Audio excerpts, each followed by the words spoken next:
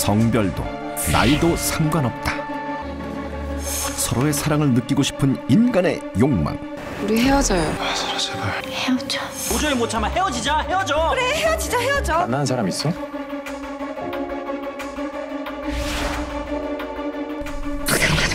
귀신이 사람의 성감대를 건드릴 때 기적을 즐기게 되는 거죠. 남편이 스킨십을 하려고 하면 치가 떨리고 걸으면서 성감을 느끼는 그곳을 계속 누군가가 핥는 느낌. 걔랑 하니까 더 만족스럽다는 거예요. 그 베란다만 나가가지고 꼭 거기서 성범죄까지 이뤄질 수가 있고 근친 상간까지 10대 아들이 10대 남자아이가 귀접을 이런 놈은 뭐 할머니가 귀접을 겪는 걸 본 적이 있어요. 귀접을 안 하니까 사는 재미가 없다. 오래 기억하는 으허, 걱정 마지 마라.